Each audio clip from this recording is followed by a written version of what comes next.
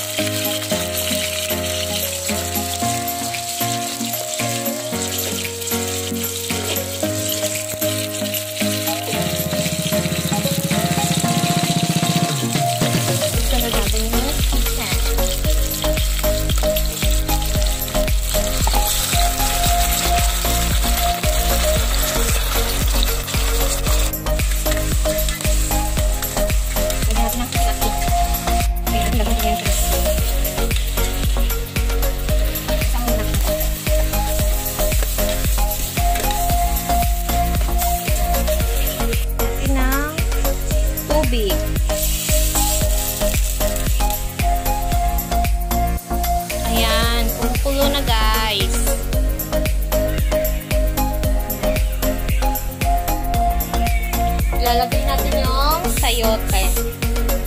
Ito, sayote.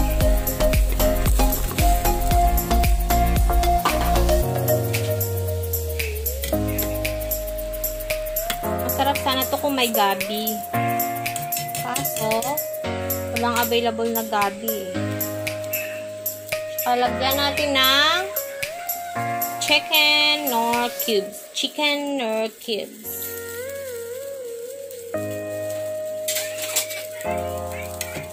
Para mas masarap.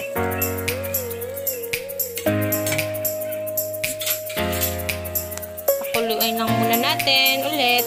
Tapos, lalagyan natin ng malunggay at saka yung ano nga yung isa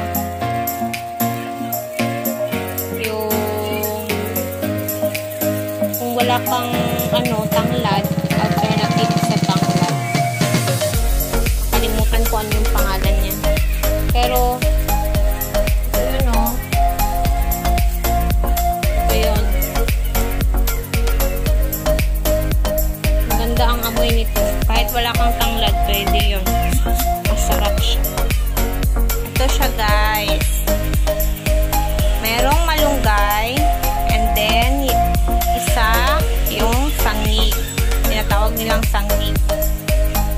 Mabango.